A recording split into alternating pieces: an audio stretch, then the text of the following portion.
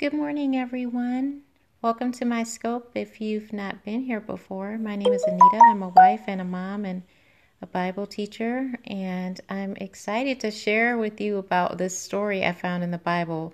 I haven't read this in a very long time, and it blessed me this morning, so I wanted to share it with you guys about this random woman and uh, what we can learn from her today.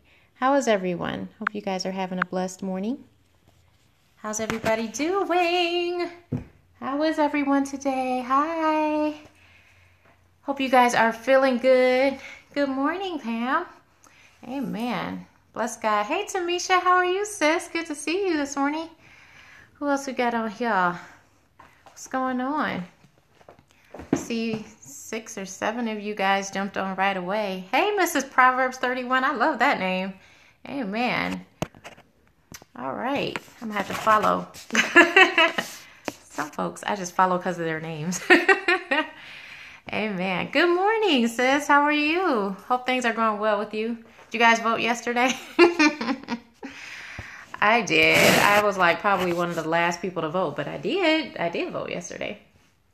I don't know. Maybe that's just in my state, but uh, there was quite a few things going on. So anyway, Today I'm looking at 2 Samuel chapter 20. This is so cool. Hey, you blessed. Amen. Amen. Tamisha, it's good to see you. We got to catch up, sis. I was just thinking about you today. I really was. I really was. Good, good. Amen. I am healed. I love that. Amen. I am healed. I am saved. I am whole. I'm delivered. I am set free. Hallelujah. Amen. All that because my God is all that. I am cancer free. Glory to God. I love that testimony. Says, keep saying it. Amen. Blessings to you too. Praise God. Good to see you this morning. So, hey, there is this story in the Bible that you may not have seen um, or read about. Like, I read it a long time ago, but I kind of forgot about it. You're very welcome. Um, that I forgot about it. Good morning, Roxy. Good morning, Sandra. And it's in Second Samuel chapter 20. And it's literally like 10 verses about this chick, and that's it. Um, but it's so powerful, and God showed me like so much about it. Um, so it's Second Samuel chapter 20. And basically, this is the story of a woman who was a nameless woman in the Bible. They literally just call her um, a woman of wisdom of Bel Abel Beth Makkah. She's just some random wise woman that the Bible talks about. But we can learn some stuff from her, you guys. Look at this. 2 Samuel chapter 20.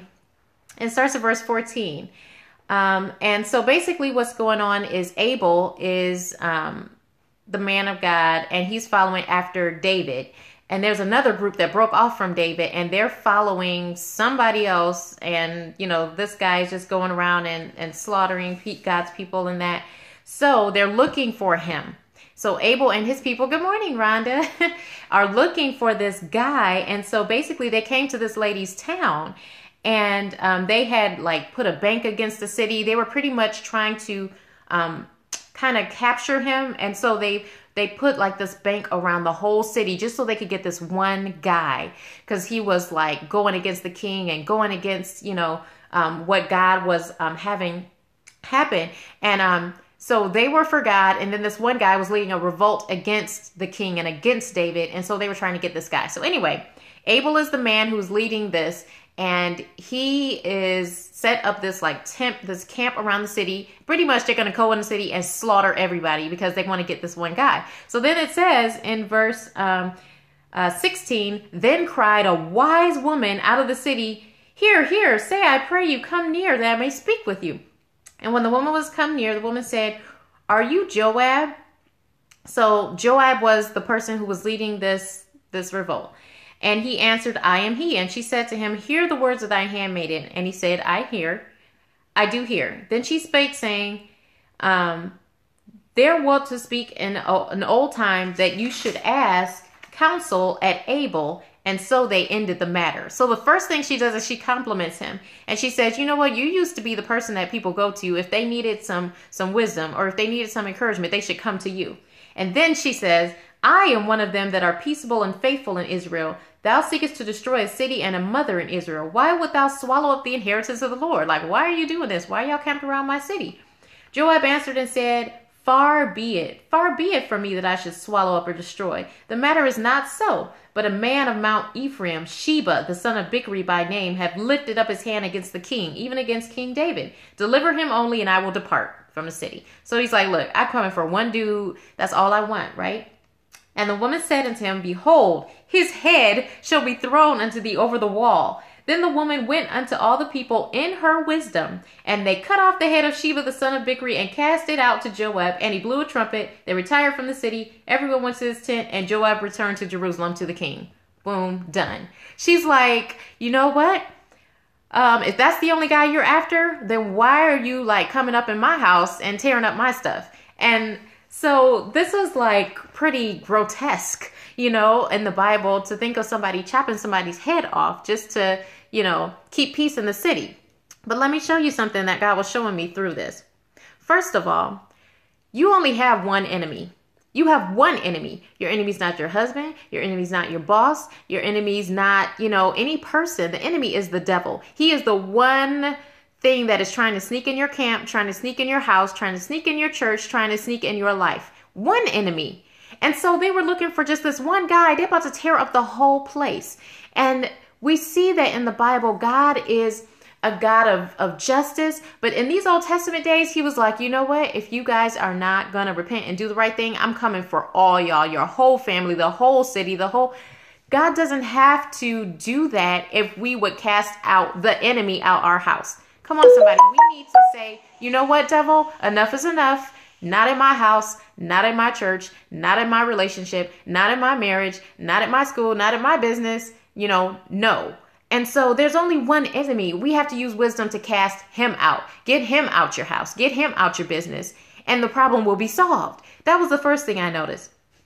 So we can't let the enemy have our home. We can't let him um, be held captive in our stuff. You know, as if we're going to be wise women like this wise woman was, then we have to be thinking, you know what?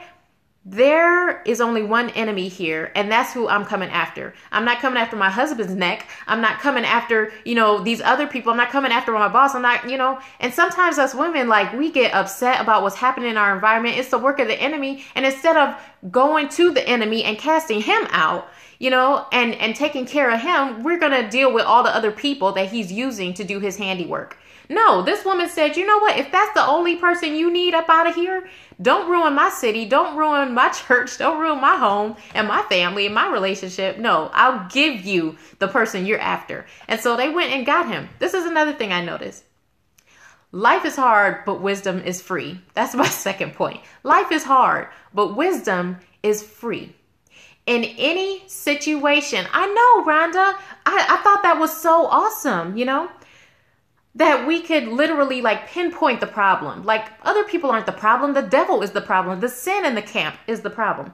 So we have to be wise because wisdom is free. God says He gives wisdom liberally and upbraideth not to whoever asks. Whoever needs wisdom, you need wisdom, ask God. God, I need wisdom for these kids. God, I need wisdom in this relationship. God, I need wisdom on my job. God, I need some wisdom doing these taxes. I need wisdom to vote. I need wisdom to go shopping. Whatever you need wisdom for. God said, here it is. So why aren't we asking for wisdom on like the regular? Like I was just thinking like I need to ask for more wisdom. You know, it's something that God says he gives liberally. We can always always always ask for wisdom. And so that's something that we definitely want to do. Now, the third thing is be a peacemaker. It says that she is known as one of the peaceful and faithful in Israel. Be a peacemaker in your home, be a peacemaker in your community. You know, there are some threats in your house. There are some threats in your community. There are some threats on your job. There are some threats all around you, but you don't have to be you know, without help and defenseless. The enemy is literally you know, stacking the odds against you, surrounding your environment, literally trying to surround your mind, just filling your head up with lies, trying to tell you that, you know, your marriage will never succeed, trying to tell you that your kids are never going to get saved, trying to tell you that you'll never find a church home and and just lies. And it's literally like the same way we see in this scripture how they were just encamped on the outside. Not only did she didn't just stay in her own house and worry about her own peoples and, and all of that. No, she went and peeked over the wall and said, hmm, I see what's going on here. We have to be as women alert and awake and wise to what the enemy is doing because he's always got a setup he's always trying to to make the situation to his advantage and trying to set us up against God. And we have to learn how to look and see what's going on in our house. Look and see what's going on in your environment. It's going to be so important because we need to be wise. So pray and ask for wisdom. Be a peacemaker. Ask for wisdom to make peace. This is the third thing. She was not afraid to ask for help. I love this part. Yes, strength and wisdom and just everyday stuff. Everyday stuff right? So she was not afraid to ask for help. She didn't do this by herself. She didn't go chop off his head all by herself. No. It says in verse 22 Then the woman went unto all the people in her wisdom, and they cut off the head of Sheba, the son of Bichri. You know, some of us women are sticklers for asking for some help. You know, you need some help you know you need some help. we cannot do this thing by ourselves. We can see that the enemy is coming after us, coming after our community, coming after our family. Look at the news, people. I mean, watch what's going on in the world. We need some help. We need a group of women. We need to link arms. We need to pray together. You know, you're not an island out here all by yourself. You're not the only one that's being threatened by the enemy. We all got problems. We all need help. We all got crazy kids. Our husbands all get on our nerves. We need to come together and not be afraid to ask for help. Because guess what? That's wisdom. That's wisdom to just say, you know, sis, I need some help. He's so busy making drama, using people. Absolutely. Absolutely. Just dramatic, right? So don't let your pride be a hindrance to being to bringing the peace. Don't let it be a hindrance to the peace that you can experience in your home and in your mind, in your heart. You know, you want to go to bed feeling like accomplished, like you did something today. Like you want to feel peace in your home. You want to have peace in that car. You want to have peace in your community. You know, there's so many like drive-by shootings and craziness. Get in the fight we've already won. Come on, Tamisha. Yes, it's a it's a done deal. The battle is already won. People close to you, absolutely, absolutely. Hey, Cherry. Yes, absolutely. So, you know, when you are a person who can ask for help, then that means that you are humble. You know, be a be a humble woman because that's a sign of wisdom. That's a sign of wisdom that you can say, you know what? I don't got enough money. I need to go and get them food stamps. I need to go and get thank you. Thank you, Cherry. I'll have to go get me some earrings to match, sis. I don't got no earrings on today. Um, but thank you. I love this cardigan. So, yeah, we have to reach out for help because we totally need it. Yes, pray more together. Absolutely. Um, you know, the women that I um, work with, with Wifestyle Image Network, we have a day of prayer and fasting every single month, like clockwork. We've been doing it for two years. Two years. It's like, let's take some time out and fast and pray and come together. Stop being so like, independent all the time. You know, God made us to help one another, to need one another. That's why we're one body with a lot of different parts. And so we have to humble ourselves and say, you know what? I need some money. I need some help with this marriage. I need some help with these kids. I need some help with my house. You know, one time I had an issue with my stove. Like I could not clean it. I don't know. I don't know what I did, but I just, you know, it was just something simple, but it was annoying to me. I was like, you know what? I need a wise woman, an older woman, somebody who has a house, who has a stove to show me how to clean this thing. Like, it was just such a simple thing, you know? And I was feeling prideful, like I should know how to do this. Like I like I got no home training, you know? But God humbled me in that thing. You know, being a new wife, being a new mom, I was just like, I don't know how to clean stuff. I don't know how to get that stain out. I don't know how to clean that carpet. I'm not sure how to, you know, just even simple things or bigger things like, what am I supposed to do? My husband just told me he that he wants a divorce. What am I supposed to do? You know, I don't have enough money to go to the end of the week. What am I supposed ask for help? That's what you do. You ask for help because we are here to help one another. And our biggest helper is the Holy Spirit. He is the helper. He is the comforter. So, my first point was there's only one enemy. Get the one enemy out your house. Get the one enemy out your mind. Get the one enemy out. Do whatever you have to do to locate the source of the problem. Use wisdom to cast him out. And then all of his mess has to go with it. The second thing is ask for wisdom because wisdom is free. It's free. How much stuff? Yes, come on now. There is strength in numbers. Absolutely. How much stuff do we have to pay for? That you always have to pay for this, you always have to pay for that. You know, God says, I'm going to give you wisdom for free. So take it, women, take the wisdom. You know, pray for wisdom every day, every day, every day. Identify the threat in your home so you can know what you're going after. Know what you're going after in prayer. Know what you're going after because if we aren't observant in the spirit, then we won't identify when the enemy is approaching and when he's trying to mess our lives up. And then the third thing is don't be afraid to ask for help. She was not afraid. Support each other. Come on, sis. Absolutely. Use wisdom even in seeking your help. Because that's the thing. If you don't ask for wisdom first, then you just go and go and ask anybody for help. No, you need to find other wise women. Look at this. This is this is so cool. In verse um 19, she says, I am one of them that are peaceful and faithful in Israel. In other words, I'm not the only one. How does she know that? She knew that because guess what? Her circle was full of other wise women. She wasn't just out there herself. She knew that she was just one of them that was peaceful and faithful. God will send the help when we ask. Absolutely, He will. Oh my God.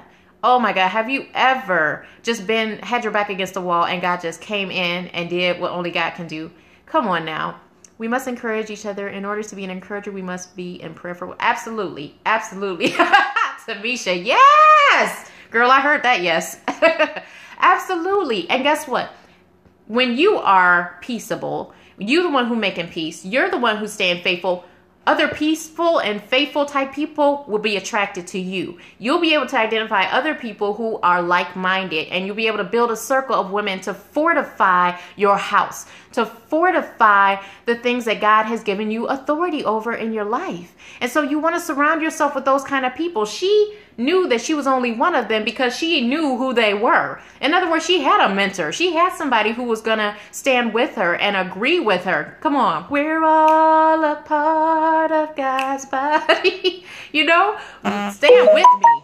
Agree with me. You know, come on. I love that song by Hezekiah Walker. Use wisdom in seeking that help. Your faithfulness, and this is my last point, your faithfulness makes you reliable, dependable, and trustworthy. There is something to be said about any woman, married, single, rich, poor, young, old. Notice that none of those descriptives are in this chapter. None. We don't know anything about this woman. We don't know anything about her at all. We don't know her ethnicity. Well, praise God, Sherry. Amen. We don't know anything about her marital status. We don't know anything about her age. Not at all. So that tells me that any woman can be wise. That tells me that any woman can be faithful. That means that any woman can be reliable, dependable, trustworthy. And guess what? When you have that's your MO and you're dependable and you're always trustworthy and you're always faithful and you're always the one who's making peace in your house, you're always the one who's looking to see where the enemy is trying to get an entrance then other people will be attracted to that kind of woman. You'll find other women who are like that, and you'll be able to join arms, ask for help, you know, fight the enemy together, throw his head over the wall. Come on, somebody. It doesn't matter what your status is in life, in other words. This is a no name, I don't know, random woman out the Bible who has no name, no ethnicity, no marital status, no age, no nothing. So that means it could be you or me. Amen. We need to be the ones who are wise today. Let's pray for some wisdom. Come on, I am one of them. Are you? I love that. You know what? I, that'll preach. Verse nine, verse 19. I am one of them. Are you one of them today? Do you want to be one of them? I want to be one of them. Amen. Know the faithful and wise women around you. Okay? Support them. Support them. Time out for the the gnashing and and the gossip and and the you know just biting and devouring. Yes, let's be women of peace and wisdom. Amen. Amen. Because the thing is we are stronger together. We are stronger together and we are stronger when we are wise because God is the one who gives us wisdom. He's the one who gives us strength, you know? Amen. I am one of them. That's going to be my motto for today. I am one of them. because you know what? We all know who they ain't. we all know the women who are not so wise. They're the ones that looking crazy on social media, the ones that they catch on the news doing crazy stuff, wearing crazy stuff. Like, you know who is not one of them. So let's be one of them today. Amen. Hallelujah. I am one of them. Amen. All right. Stop comparing. I love that. Yes. Because we often compare ourselves to everybody else. You know what? Compare yourself to somebody wise and try to be like them. Come on. I am one of them. Amen. Lord, I thank you and praise you for each and every person that's joined me today. Lord God, we want to be one of them. We want to be one of those people who seek after wisdom, who make peace, God. This is a crazy world. We look at this Bible story about this woman, man's head being chopped off and thrown over a wall, God, but somebody just got shot yesterday. Somebody just got burned up yesterday. The violence in the United States is rising and, and persecution all over the world, God. We want to be wise. God, it doesn't matter if people know what our name is. It doesn't matter how old we are. It doesn't matter what color we are, God. We want to be known as wise. So fill us up. We're asking for wisdom. In Jesus' name we pray. Amen. Amen. Amen. Amen. Praise God. Thank you guys for joining me. Thank you for all the hearts today. My goodness, it must be heart day. You guys are awesome. God bless you. Yes, sis. Amen. So yeah, if you wanted that scripture reference again, it's Second Samuel chapter 20 and then i'm looking at verses um it was verses 14 through 22 awesome awesome awesome. Awesome scripture. It was a whopping what seven to ten verses that talk about this woman and i got a lot out of it this morning in my devotional time. So i pray that it was a blessing to you. I love you guys. Thanks for joining me every morning and i'll see you tomorrow. Love you. Bye.